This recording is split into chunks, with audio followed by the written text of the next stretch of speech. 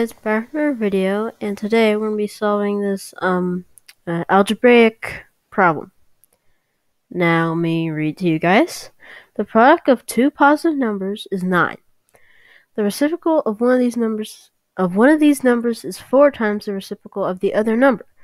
What is the sum of the two numbers? And then you have your answer choices A, B, C, D, and E down here.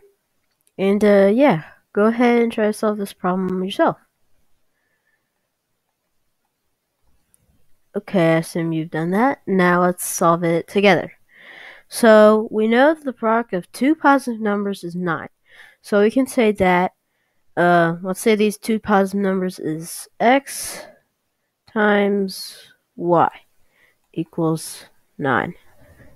Okay, and the reciprocal of one of these numbers is 4 times the reciprocal of the other number. So let's say x, the reciprocal of x is just 1 over x. And it's 4 times the reciprocal of the other number. Well, the reciprocal of y would be 1 over y. And so 4 times 1 over y is 4 over y. So 1 over x is equal to 4 over y. Okay. So now we have two equations and two unknowns. So now we can solve this. So we can first cross multiply. We get 1 times y, which gives us just y, equals 4 times x, which is just 4x. And now we have what y equals. Now we can plug this into our previous equation. And now we have x times 4x equals 9. So now we just do x times 4x, which, which gives us 4x squared equals 9. And then you would divide both sides by 4. 4, 4, and then the 4's cancel here. And then you have x squared equals 9 fourths.